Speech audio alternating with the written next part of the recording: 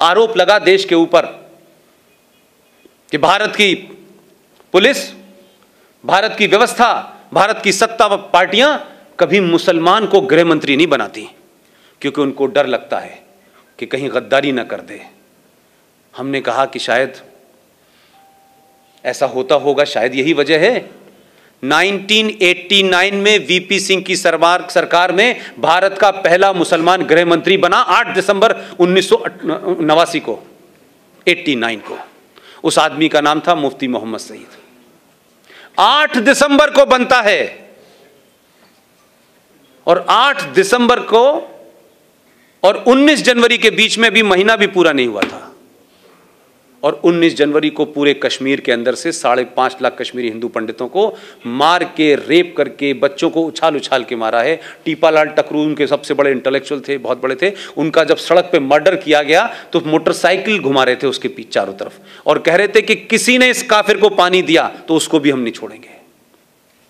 न मुफ्ती की बेटी रोई, न अब्दुल्ला रोया, न कश्मीरियत कहीं आई, और चुपचाप खत्म हो गया। आज इसके बारे में कहीं बात नहीं होती। और उसी दौर में यह कोई कोइंसिडेंस नहीं है। क्योंकि मैं उसी थॉट से सोचता हूँ जिस थॉट में रहा हूँ। आप उस थॉट से सोचते हैं क्योंकि आप सब समाज के लोग हैं। आपने वैसा नहीं देखा। उसी दरमियान भारत के गृह मंत्री की बेटी का अपहरण हो गया। कोई जरा पूछ के वहाँ जाए। बाहर के विदेशी पत्रकारों की रिपोर्टिंग पढ़ ले भाई। हिंदुस्तानियों पे तो यकीन नहीं है। खुद ही कराया। उसका कमिटमेंट देखिए अपने आतंकवाद के प्रति, अपने धर्म के प्रति, अपने एजेंडे के प्रति। देश के गृह मंत्री ने अपनी बेटी का अपहरण कराया, वो तो घर में थी। उसके बदले में आपने चार आतंकवादी छोड़ दिए। बेटी बेड के नीचे से बाहर आ गई। ये कोई छुपी हुई बात नहीं है भाई। उसी दरमियान में एक साहब हैं सेकुलर हैं कांग्रेस पार्टी के राज्यसभा में लीडर ऑफ़ अपोजिशन है। उनका नाम है गुलाम नबी आज़ाद। अब ये मुझे पता नहीं है कि वो ए, वो इस्लाम से आज़ाद हैं कि नबी के ग़ुलाम हैं या नबी के ग़ुलाम हैं कांग्रेस से आज़ाद हैं ये मुझे पता नहीं।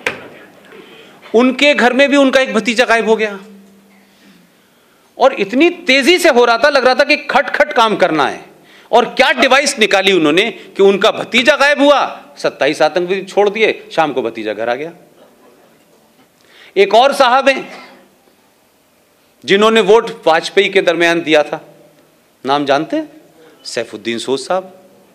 उनकी भतीजी गायब हो गई। ये ऐसे लग रहा था कि सबका एजेंडा कितना खूबसूरत है। वो बात अलग थी कि वो वहाँ जब थे, उनकी हैसियत दूसरी थी, वो दूसरी पार्टी में थे। उसके बदले में भी सात लोगों को छोड़ दिया आपने। तो पहला इस देश के अंदर, अगर हम ये कहें कि इंटरनेशनल टेररिज्म जो है, वो भारत में कैसे पनपा, उसके लिए जिम्मेदार भारत का ये पहला मुसलमान गृह मंत्री है। एक घटना हो जाती है, मोदी के दौर में हुई, पूरी दुनिया में छा गई साहब, पूरी दुनिया के अंदर हंगामा हो गया।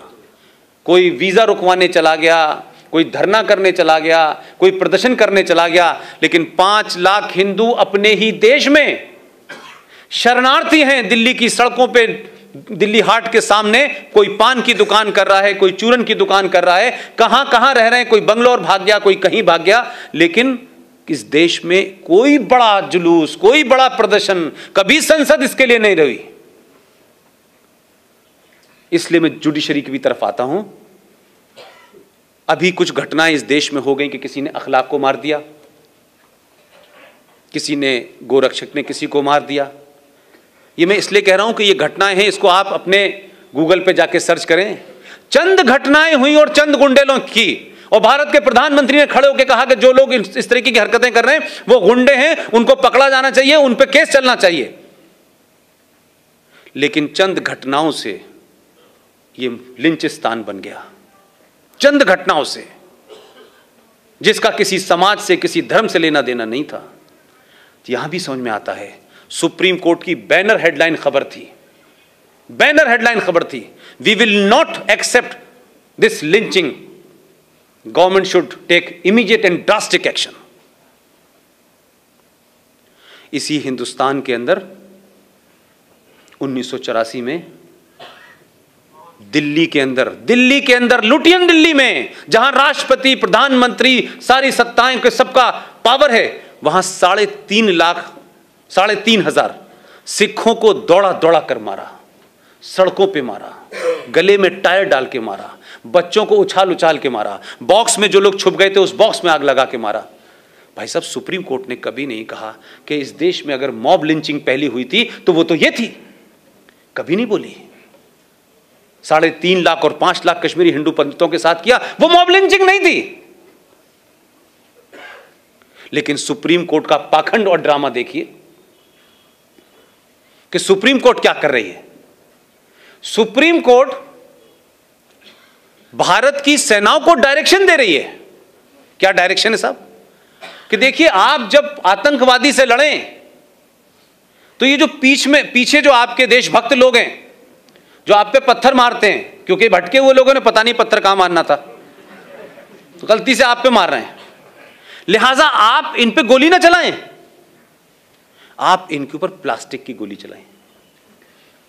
सेना का एक आदमी विदेशी आतंकवादियों से लड़ रहा है। उसका मुँह इधर है। फिर वो अपनी बंदूक से प्लास्टिक की गोली डाले, फिर इधर चलाए। जब उनसे कहा कि ऐसा मुमकिन नहीं है, बोले, नहीं, उनके ऊपर पानी डालें, गर्म पानी डालें। तो वो पहाड़ों में पहले टैंक लेके जाए अपने कंधे पे, कि पहले मतलब मानसिक दिवालियापन है इस देश के अंदर यार। वही कहता है कि गर्म पानी डालो, ठंडा पानी डालो, प्लास्टिक डालो, और इतनी चिंता होती है कि बाकायदा प्लास्टिक की गोलियों की नपाई इंची टेप से करने लगता है सुप्रीम कोर्ट। सुप्रीम कोर्ट को इस बात की चिंता है कि मुंबई की दही हांडी की लंबाई कितनी है भाई? ये ज़्यादा हो गई आधी इंच तो भाई साहब पे केस चलेगा। महाकाल पे पानी कैसे चढ़ेगा? आधे किलो चढ़े, ढाई सौ ग्राम चढ़े।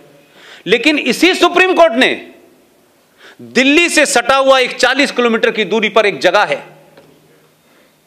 एक आदमी, वो गलत था, सही था यह विषय नहीं है। वो किसी गलत काम में पकड़ा गया। यह बात अलग है कि वो भी वही सब कर रहा था। अगर 1400 साल पहले टेलीविज़न होता तो तब भी यही हो रहा था।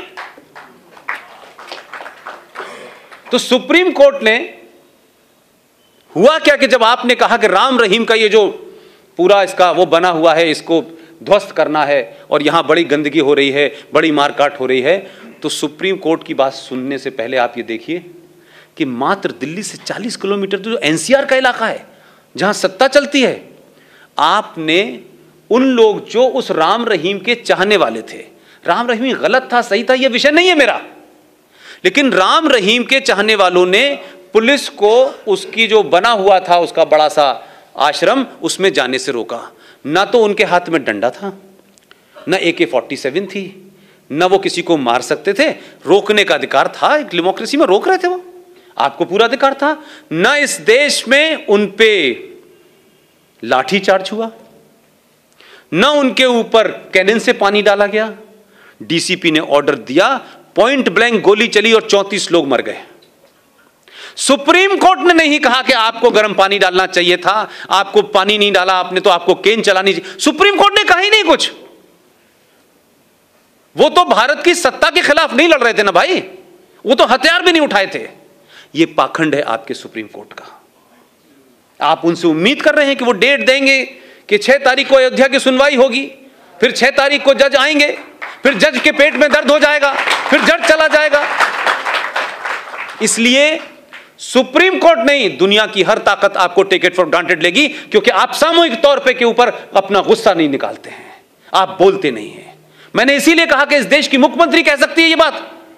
मुझे और आपको किसने रोका है? कंटेम्प्ट ऑफ़ कोर्ट होगा? ठीक है, कंटेम्प्ट ऑफ़ कोर्ट होगा। करें, पाँच, दस, बीस, पचास लाख लोगों पे करेंगे, करिए। हम डरते क्यों है भाई? अब इस, इस देश में भी हम डरेंगे भाई। महबूबा मुफ्ती को क्यों नहीं डर लगता और क्यों आपको डर लगता है? उस पर कंटेम्प्ट ऑफ़ कोर्ट क्यों नहीं होता कि वो सुप्रीम कोर्ट को कहती है कि हम तिरंगा नहीं उठाने देंगे अगर इससे आपने छेड़छाड़ की गई? वो केस सुप्रीम कोर्ट में चल रहा था भाई। हम बोलते नहीं तो सुप्रीम कोर्ट अजीबो गरीब फैसले देती रहती है। इसलिए इस सुप्रीम कोर्ट भी ये जानती है कि ये समाज जो है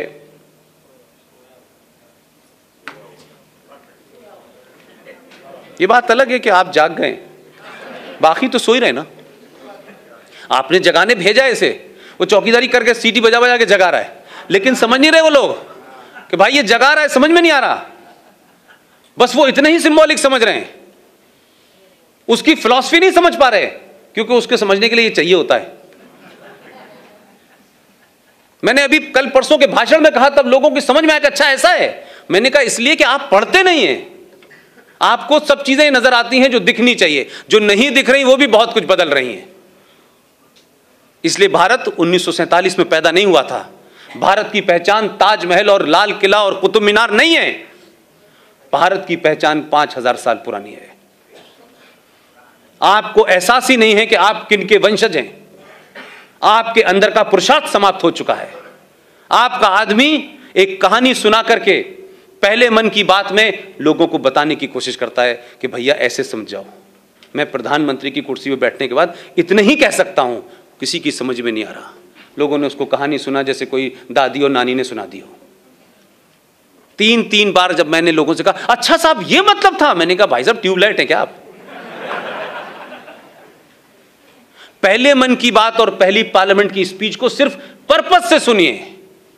अगर ऐसी सोच के लोग दस बीस भी हो जाएँगे, आपका काम हो जाएगा। लेकिन मेरा कहना है कि समाज क्यों नहीं उस तरफ़ बढ़ रहा? आप नरेटिव क्यों नहीं निकाल पा रहे ये? आपको क्या दिक्कत है? आप बोल ही नहीं रहे। इसीलिए राष्ट्रपति भवन के अंदर अब इफ्तार नहीं दिया जा रहा।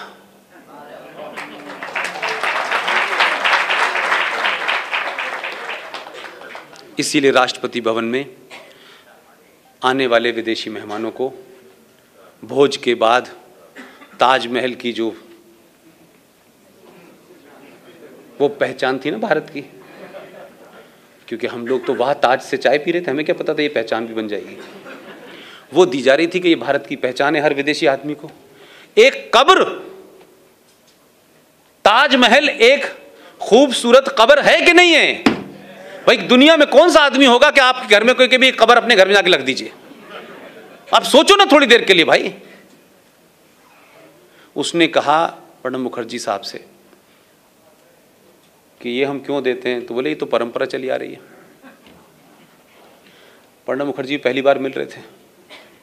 उन्हें पता नहीं है तो परंपरा तोड़ने का आदि है। अब उन्होंने कहा कि, भाई, ठीक है,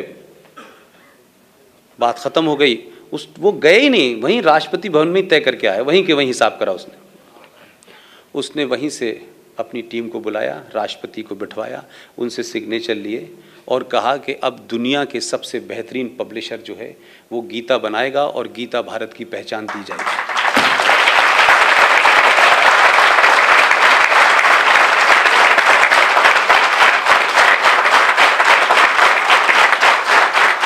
अगर आप परंपरा तोड़ेंगे नहीं और ये एक कवरअप ले लेंगे कि ये परंपरा है। तो परंपरा बनती ही टूटने के लिए है। शक्ति होनी चाहिए आप में। और ये ध्यान रखिए कि इतिहास में ये इतिहास तय नहीं करता कि कौन क्रूअल था, कौन जालिम था। इतिहास उन्हीं का लिखा जाता है जो जीते हुए होते हैं।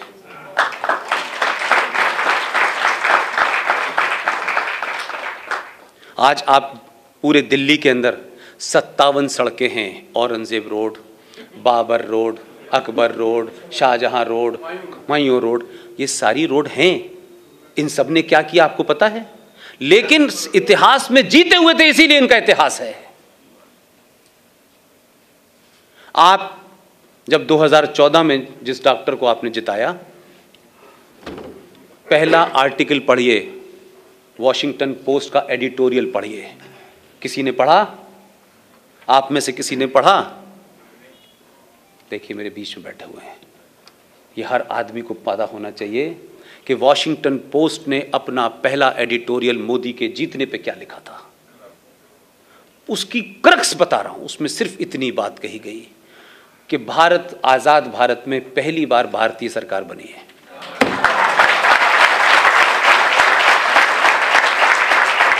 आप समझे ना समझे दुनिया जानती है आपको। वो जो दुनिया में यहाँ से कागज़ लेके गए और उसके बाद आज ये बना रहे हो, सब आप ही से लेके गए। आपने नहीं पढ़ा, दूसरे ले गए। आपकी समझ नहीं आया। वो समझ रहे हैं कि क्यों ये भारतीय सरकार है, लेकिन इस देश के भारतीय नहीं समझ पा रहे कि ये भारतीय सरकार है। अभी तक जो सरकारें थी, वो ट्रांसफ़र ऑफ़ पावर की थी।